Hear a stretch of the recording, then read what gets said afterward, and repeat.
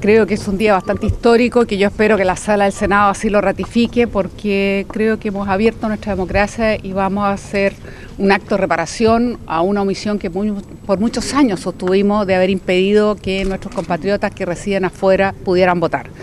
Yo solamente felicitar a aquellos senadores que han acompañado con su voto. Espero que la sala ratifique este acuerdo porque creo que nos va a hacer bien como país.